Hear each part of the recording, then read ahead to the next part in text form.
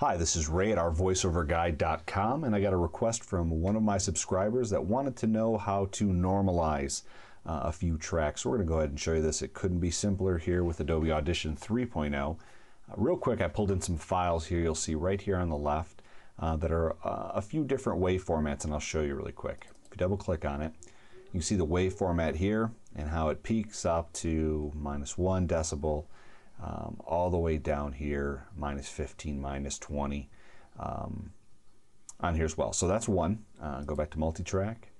Uh, here's another one. You can see this waveform. It's all over the place. And we'll do one more. Here we go, acquire. And this one right here. So what you want to do, okay, in edit view, what you want to do is go ahead and click edit and go all the way down here to group waveform normalize.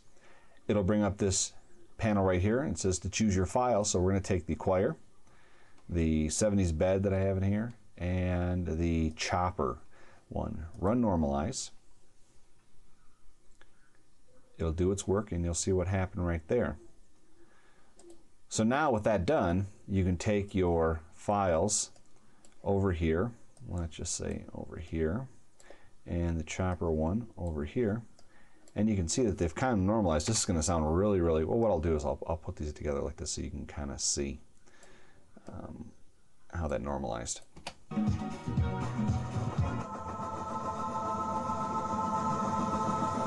And what it does is it takes some of the lower wave files and it brings that up a few decibels, takes the ones that are extremely uh, close to clipping and reduces the decibel level there. Here's one I'll show you really quick that I put together um, for a radio imaging spot um, and you'll see exactly uh, what I'm talking about. Here we go.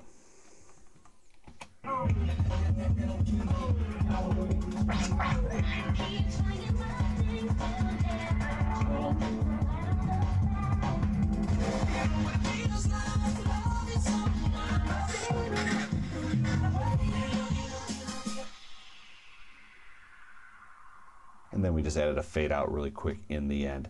But that's about as simple as it gets. So just remember that what you want to do is you want to take the files that you want here. If you go into edit file, you can see exactly what you're looking at there. And go to edit, group wave form normalize, and choose which ones you want to normalize and run the normalization program. Um, you can analyze the loudness while you're doing this and adjust your normalization levels right here uh, under number three normalize.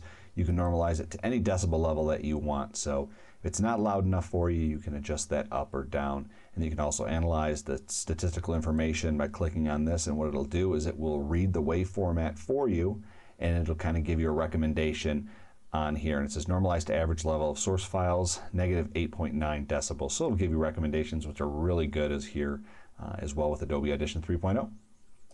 So I hope that helped a lot. And if there's any other questions, feel free to leave and post a comment or send me an email at ray at ourvoiceoverguy.com. We'll see you later.